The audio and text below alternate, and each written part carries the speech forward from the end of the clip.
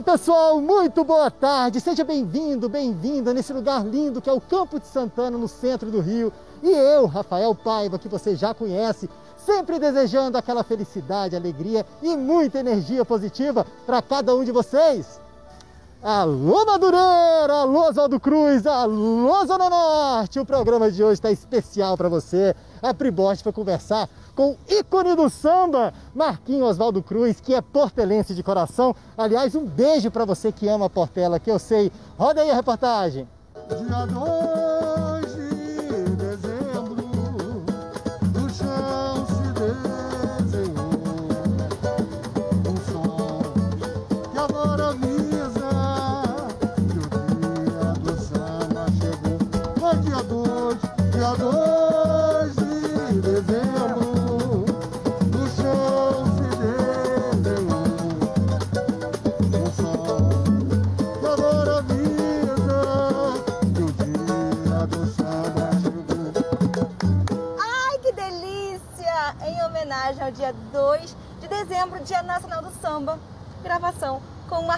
De Oswaldo Cruz. Obrigada, um prazerzaço, viu? Esse ícone do samba brasileiro, gente. Um prazer, prazer meu. E está aqui, na Praça Paulo da Portela, né? O fundador né, da minha escola, não, da, da mais antiga escola que em 23 vai, em 2023 vai fazer 100 anos. Olha só. 100 anos, você está aqui na praça dele, né? E, e- e- e- e poder gravar isso aqui, né? E lembrando que o Paulo da Portela, é, hoje todo mundo espera muito, o Brasil todo espera muito pelo trem do samba, né? E Paulo da Portela fazia essa viagem que se faz no trem do samba para fugir da repressão policial. Isso na, na década de 20. Na década de 20. O povo todo é, é, vinha cantando seus sambas dentro do trem para a polícia não prender. Na década de 90, é, é, numa forma de, de, de, de preservação, numa forma de perpetuação desse samba, eu, eu, eu recrio essa viagem né, e dou o nome primeiro de Pagode do Trem, depois de Trem do Samba. Tem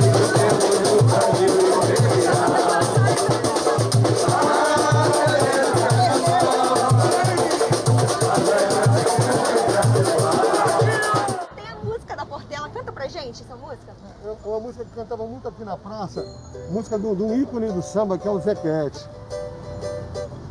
Seus cavaquinhos, seus pandeiros e suas cuicas, seus tamborins, chocalhos e surdos, são uma tentação.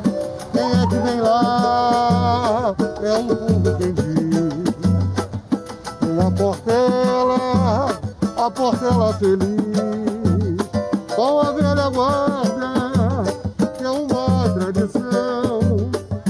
Sua juventude vem vibrante a cantar, um samba natural, de Oswaldo Cruz, que sem vaidade, sempre deixa uma saudade. Ai, que delícia, gente.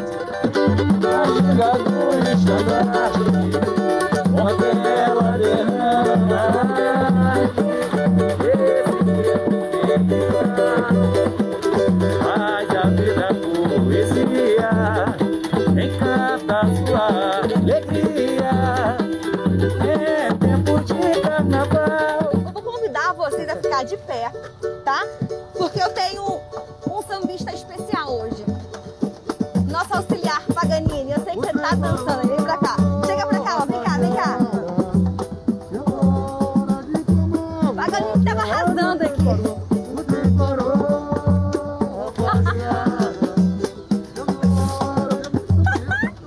2 tem live, todo mundo pra assistir. Dia 2, Dia Nacional do Samba. Tem que assistir, né? Às 19 horas, a gente vai fazer com- praticamente como é, conforme estivesse dentro do trem do samba. Às 19 horas, no canal do YouTube do Trem do Samba, no canal do YouTube da, da Fita Amarela, né? E, e- e- e no- também no Facebook. Vamos mais uma pra encerrar?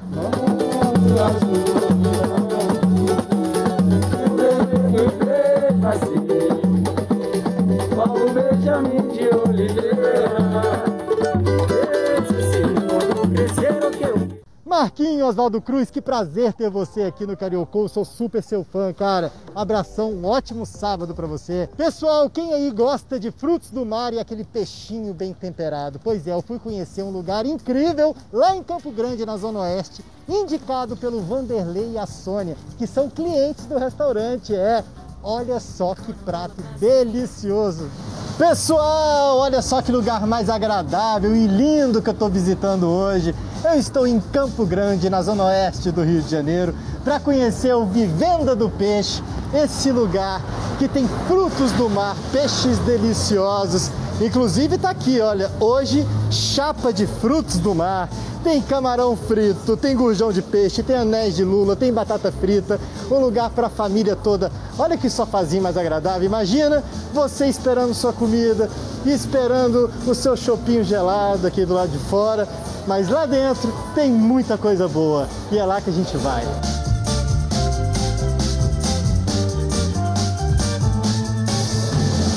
Tô me sentindo no fundo do mar aqui, né? A decoração toda colorida. Mas antes de experimentar as delícias desse lugar aqui, vou conversar com o Thiago aqui, que eu tô sabendo. O Thiago, que é o dono, o proprietário. Eu adoro essas histórias, Thiago. Tipo, você tem hoje né, o Vivenda do Peixe, que é assim, um lugar de sucesso, vem de uma comida deliciosa, que todo mundo vai indicando, boca a boca que faz. Mas começou um negócio, né? Que era pequeno em casa, quase, né? bem pequeno, é. Era um E salão de beleza, isso? Era um salão de beleza, aí a, a moça me entregou porque não aguentou mais pagar. né? aí eu falei, pô, tem que ter uma ideia, eu vendia cesta básica e tal. Você vendia cesta básica. você aí- já estava vendo a coisa ligada à comida. Isso, isso. Mas eu sempre gostei de fazer comida e tal. Todo tempero da casa é meu, foi eu que inventei. Só que tem hora que a gente tem que administrar, né? Não tem jeito. Aí você fez no self-service, É, no caso eu botei um alacarte, né? um alacartezinho Um alacarte, e tal, tal. quem tinha peixe nos alacartes. É, peixe. E na minha rua lá em Bangu tem três restaurantes de churrasco, self-service de churrasco. Aí eu botei peixe. E graças a Deus o negócio foi bombando, bombando e a fila, final de semana ia quilométrica e as coisas eram pequenas, não tinha ar-condicionado, não tinha nada. Gente, imagina Bangu sem ar-condicionado. Caramba, e o cara comendo pirão e suando. De onde surgiu esse amor pelo peixe? Sempre gostei muito de frutos do mar.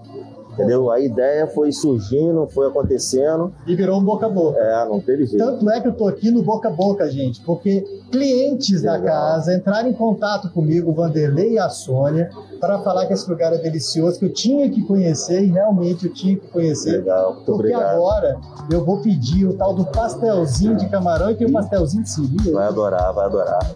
Mais pastelzinho de camarão, o nosso Ah. molho que vem no camarão é feito com aipim, tá? Não é feito com farinha de trigo, nada disso não. Feito Fica a dica aí, pessoal de casa. entendeu? Como se fosse um bobó de aipim e tal. Aí a gente vai acrescenta algumas coisas. E tem que ter amor, tem que gostar daquilo que faz, não tem jeito. Não, é, coisas- é só assim que a gente faz sucesso. Pessoal aí que tá na atitude, tá desempregado ou coisa parecida, tem alguma coisa em mente para poder fazer, é, assim, evoluir, né? Crescer e tem alguma ideia de fazer um doce, fazer um bolo, é, abrir um restaurante, uma lanchonete, uma pizzaria, mergulhe de cabeça, vai atrás do teu sonho, vai ficar assim como eu, Ele dá certo e o Thiago é a prova viva disso. verdade. Inclusive, o meu sonho agora é comer esse pastelzinho Pô, de seja camarão. E eu não vou desistir desse sonho nesse momento.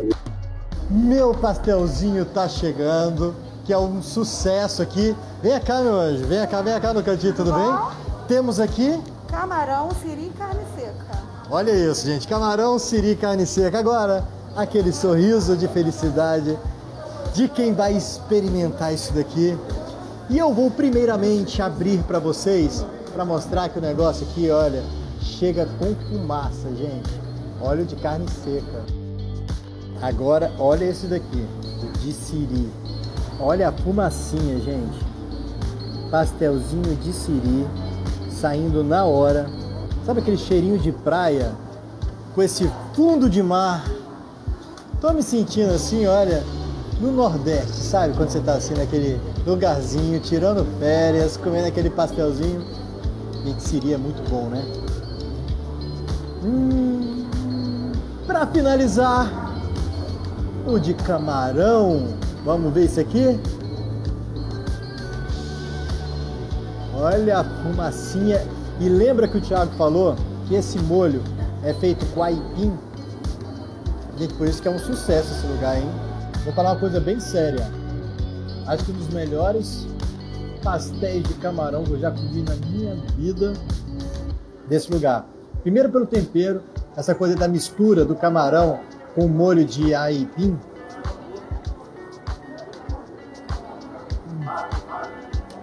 Tem muito camarão aqui dentro. Se a entrada é assim, imagine meu prato principal. Hum. Dá só uma olhada como ele está sendo preparado. Pessoal, olha só, entrada proibida, mas fomos liberados porque eu também soube que é o seguinte, essa cozinha tem a fama de ser uma cozinha assim impecável, que é a cozinha do chefe Emerson. Chefe Emerson. Boa tarde. Boa tarde, já estou feliz que você conhece o nosso programa também, né? Sim, um pouquinho. Conhece o Carioco. E eu falei, eu vou lá conversar com o Emerson. Qual o segredo de ter uma cozinha tão limpa num lugar onde se trabalha com tanto peixe? Rapaz, muita dedicação e esforço. Adorei. Isso aqui é uma posta de salmão. E esse salmão acompanha purê ao molho de camarão e um arroz de brócolis. Agora eu pedi o seguinte, chefe. Eu pedi uma, uma comida assim, aquela tal da caldeirada de frutos do mar. Tem. Você vai fazer pra mim? Posso preparar? Você pode preparar pra Sim, mim? claro. Eu vou deixar o chefe aqui preparando a minha caldeirada de frutos do mar. E vou sentar, né? Vou esperar na mesa. Fiquem aí com essas imagens desse salmão delicioso na chapa.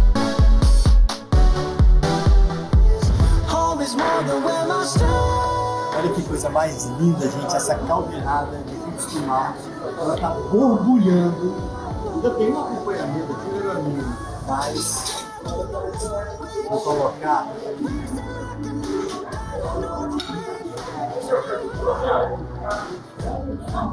Cara, é vivendo e aprendendo, entendeu? Vivendo. Deixa. Gente, faz isso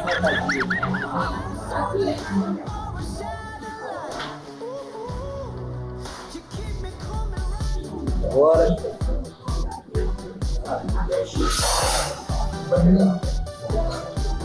Um pouquinho de lula. Um pouquinho de camarão.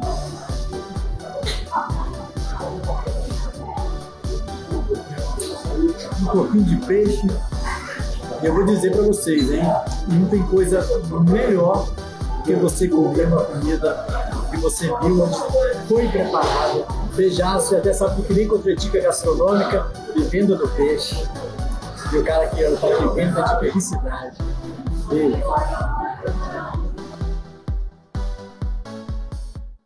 Vanderlei, Sônia, amei a dica de vocês, que lugar incrível! Vou voltar, hein? Agora é a hora do Se Liga na Gente, uma parceria do SBT com o Sesc RJ e o Senac RJ. Fique ligado para saber o que essas duas instituições oferecem para o seu bem-estar e qualidade de vida.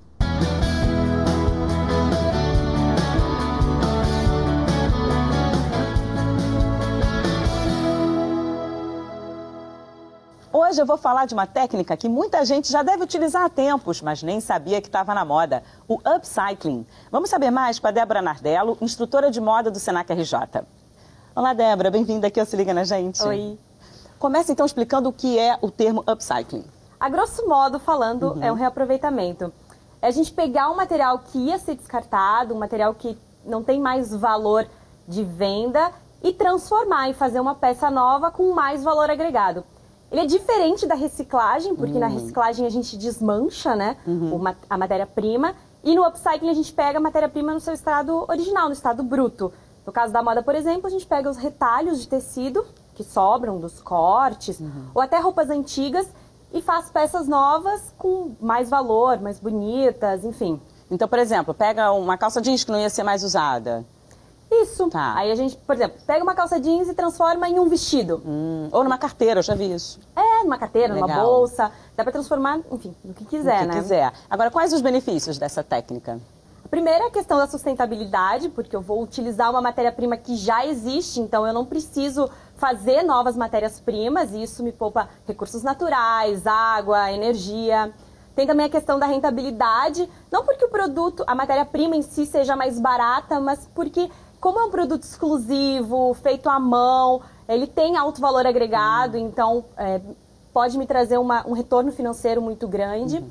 E também a questão da criatividade. Eu posso fazer milhares de coisas, são milhares de possibilidades. Eu posso colocar todo o meu potencial criativo naquilo que eu estou criando a partir de algo que já existe. E é o que você falou, fica uma peça única.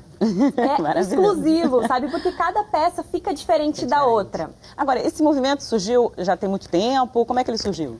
Surgiu ali por volta dos anos 90, é, então mas eu acho tempo. que faz uns ah. 10 anos que ele pegou uma força, justamente porque a gente tem falado muito sobre sustentabilidade na moda, uhum. porque está sendo muito importante muito esses importante. assuntos, né? Agora, no Brasil, você acha que o pessoal já está usando, já está na moda mesmo?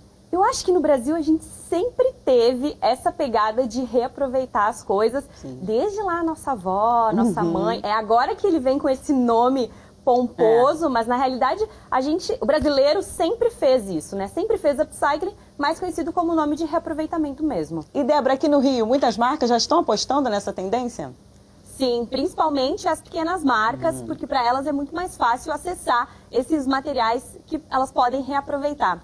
Eu gosto muito de uma criadora chamada Carol Barreto. Ela faz acessórios com uh, embalagem de shampoo, garrafas PET, Gente, latinhas de refrigerante. E tu olha pro produto dela e ele não é tu não diz que aquilo é reciclado. Nem imagina é que foi feito de, um, de, uma coisa que você ia jogar fora. Não, a gente não imagina, sabe? Porque ele é tão bonito, ele é tão bem feito, é. bem acabado, ela mistura com materiais nobres, que é, o produto tem alto valor agregado, uhum. sabe? Eu gosto muito também de uma outra marca de Petrópolis, que eles pegam guarda-chuvas quebrados, aqueles que viram na chuva, que é o sabe? tempo inteiro, né? Todo mundo todo tempo. quebra um. E aí elas fazem casacos, fazem pochetes, fazem bolsas. E o produto fica muito bonito, tu não diz que aquilo é feito de guarda-chuva. Gente, maravilhoso. Exemplos sustentáveis que você vai usar na moda. Eu vi também já de pneu de, de carro. De dentro, né? A câmara Exatamente. de ar, faz uh, carteira, é, faz bolsa. É verdade. Agora, o consumidor, ele já está aderindo, então? Você acha que já está tendo essa noção de que ele pode usar coisas assim? Eu acho que sim. Eu acho que as pessoas estão vendo isso como uma coisa muito legal, principalmente porque a questão de sustentabilidade a gente está falando muito, uhum. é um ponto muito importante nesse nosso atual momento. Então, eu acredito sim que o consumidor esteja procurando mais e mais vestir ideias que se alinhem com aquilo que eles acreditam. E Débora, para quem se interessou pelo assunto, o Senac J deve ter algum curso aí nessa área, tem? Tem, tem o Laboratório de Customização e Upcycling, uhum. que é um workshop de 12 horas para quem quer falar sobre moda e sustentabilidade e colocar a mão na massa e praticar a proposta de upcycling. Pode fazer para si ou, se quiser, pode fazer também para outra pessoa, para vender. Vender, claro. Ou seja, vai ser politicamente correto e ainda vai usar uma peça linda, exclusiva e criativa. Obrigada pelas dicas, Débora. Eu que agradeço. As pessoas podem entrar no site se elas quiserem se matricular no curso e aprender fazendo, né? Como e, poxa, curso de 12 horas, maravilhoso. Obrigada pela sua participação aqui com a gente também. Obrigada. Estimule a sua criatividade com os cursos do Senac RJ. Clica lá no site para mais informações. Tchau, pessoal!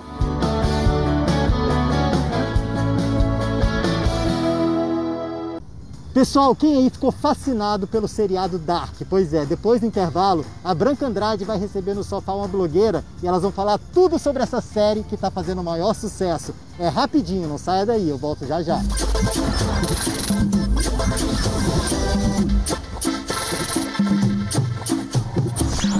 Galera, olha só que lugar incrível! Olha que gruta mais linda, tudo a ver com a reportagem que vem agora. A Micaela Souza vai conversar no sofá com a Branca Andrade sobre o seriado Dark. Dá só uma olhada.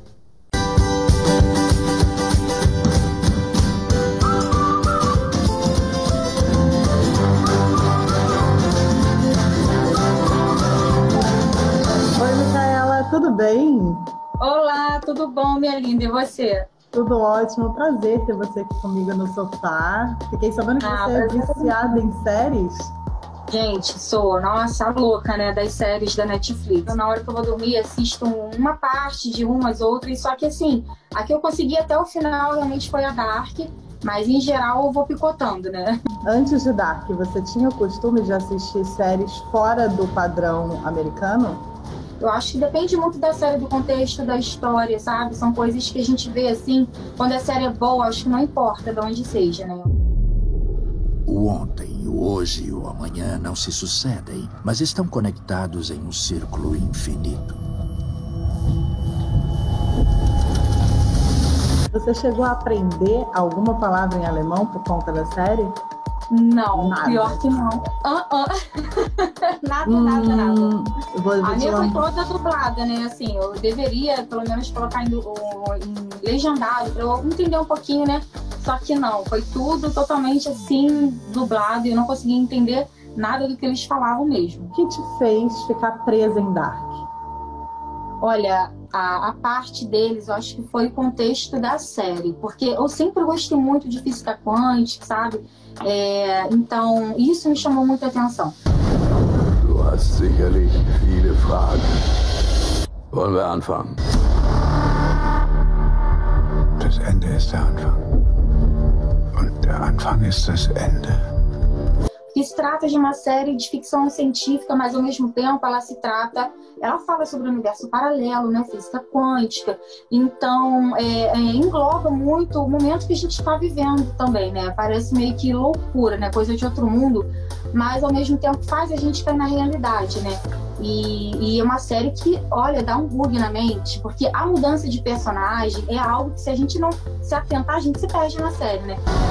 Nós não podemos escapar do nosso destino. O que você quer de mim? Então eu vi muitas pessoas falarem também, é, não sei se eu levo até como crítica, mas eu acho que foi é, as pessoas que não entenderam o contexto dos personagens, porque uma hora eles estavam jovens, outra hora eram velhos, né? Uma hora era criança, né? Outra hora nem existiam. Então, assim, buga a mente da pessoa. Tanto que eu indico para todos os meus amigos no Instagram, eles me perguntam, ah, me fala uma série boa. Eu falei, gente, é Dark. Só que se prepara porque a sua mente vai ficar bugada. Vai pensar, meu Deus, né? E eu acho engraçado que é, quando eu tava assistindo, né, a série, eu tinha um mapinha pra eu tentar entender quem era o personagem, né? Você fazia exatamente o mapinha da parede da Regina. Menina, é exatamente Cláudia. Eu fiz o download. E quando você acha que já está o suficiente a confusão com o passado, presente e futuro, ainda aparece um outro mundo. Gente, pois é. Aí eu, eu não sabia. Eu falei assim, deve ser né, uma briga lá com o universo paralelo, deve ser dois mundos, mas aí veio outro, o terceiro. É um filme de bugar a mente completamente, mas é um uma série, né, muito boa de se assistir. É uma série que trata de momentos que servem para nossa vida, né? É, momentos de, de empolgação, tem momentos ali que a gente está revoltado. Nessa época de pandemia, eu acho que esse, essa série foi essencial, sabe? Para a gente rever os nossos conceitos, né? Tentar se acertar enquanto a gente está aqui, bem, né? Na Terra, vivos. Porque depois que a gente parte, não, não tem mais jeito. É, Uhum. Eu gosto de resumir Dark é, como uma leva de mensagens que vêm por aí, que estão vindo por aí. Por exemplo, Tenet, que é o filme que está em cartaz agora em cinema, também tem essa mesma mensagem, que é a mensagem Uhum. de que tudo está conectado o tempo inteiro. É isso aí. Nesse momento de pandemia, essa questão de estarmos todos conectados, apesar da distância, ficou evidente para você por intermédio do Ai, ficou. Ficou. Pergunta de um milhão de dólares. Adianta mudar o passado? Eu acho que não. Na minha opinião, mudar o passado é como se você estivesse ali perdendo todas as, as- as experiências que você viveu, sabe? É, por exemplo, eu acho que, que cada um de nós, quando vem né, a esse mundo, tem um propósito diferente, sabe? Eu acho que cada erro, cada acerto, é, cada dificuldade que a gente passa é uma experiência para formar quem a gente é. Escolha. O problema é a escolha. Vamos agora para o quiz, né? O quanto você sabe sobre Ai, gente. O que significa a frase Sigmundus criatus est? Eis que o mundo criado foi, assim o mundo foi criado, ou desde a criação do mundo? Desde que o mundo criado foi. Errado. Já vou começar pagando mico aqui. Qual a relação entre esses dois personagens? Eles Não são sei. irmãos, eles são a mesma pessoa, eles são avô e neto ou eles são pai e filho? A mesma pessoa. Muito bem, genau richtig. Quem fica no bunker esperando a catástrofe passar? A Charlotte, o Noah, o Jonas ou a Cláudia? Não foi a Cláudia? Eu agora tô na dúvida. Porque a Cláudia voltou mais velha, né? Eu não posso te dar a resposta antes de você me dizer qual é a sua resposta. A Cláudia, vai, eu acho que eu errei, mas é a Cláudia. Errou, é, foi o Noah. Foi o Noah. Ai, gente. Última pergunta. A série se passa em Berlim, na Alemanha. Verdadeiro ou falso? Verdadeiro. Falso. Obrigada, Micaela. Um abraço. Imagina, Sucesso pra você, viu? Beijão. Muitas, muitas e muitas séries. Amém. Vamos, né? Tem tempo pra isso agora nessa pandemia. O que não falta é série. Gente, olha que coisa mais linda esses cisnes. Isso é só para lembrar vocês que agora é a hora do amor animal.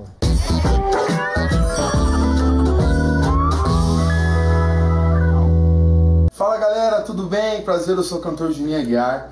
Vim apresentar para vocês o meu pet, o Brasil, cachorro bem levado, bem danadinho, e o meu peixinho, o peixinho black. Olha o tamanho dele, gente. Pessoal, adoro esses animais, tá? Animais são coisas boas da natureza, são coisas de Deus. E eu sempre faço questão de cantar para eles, eles sempre veem eu cantando também quando eu tô ensaiando em casa, né? Apresentar minhas canções novas. Eu sempre faço questão, o Brasil principalmente gosta bastante quando eu canto, ele fica bem animado, ele fica bem feliz. Você sabia que os animais também gostam e se beneficiam ao ouvir uma boa música? É verdade, os estudos científicos já comprovaram os grandes benefícios da musicoterapia para os animais também.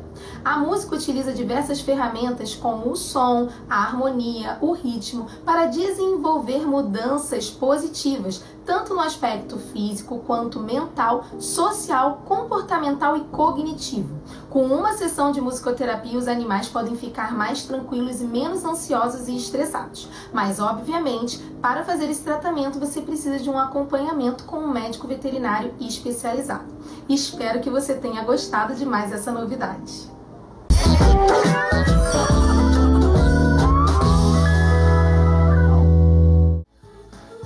Ah, pessoal, o Cariocou de hoje fica por aqui. E para você que está fazendo aniversário hoje, eu quero desejar do fundo do meu coração muito amor, muita paz, muito carinho e saúde para você. Um beijaço, mas sábado que vem estarei de volta a partir de meio-dia. E não esqueça de me seguir lá nas redes sociais. Rafael Paiva Repórter. E me conta o que você está achando do programa. Beijaço e até lá.